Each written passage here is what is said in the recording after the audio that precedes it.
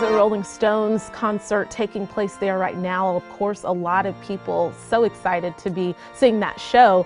In keeping with tonight's theme, though, none more so than this couple. Ed and Maria Fernandez chose this night and this venue for their much anticipated and delayed wedding. They were slated to get married in Austin in 2020 and then finish out their wedding trip with the Rolling Stones concert at the Circuit of the Americas. Well, the pandemic, of course, caused everyone to have different plans. After the concert got postponed, their wedding did as well.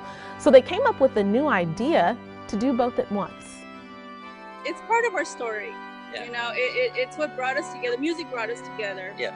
And uh, the Rolling Stones and their lyrics and all the words that come to mind from their songs, they just sort of bring us even more together and make us feel even more in love.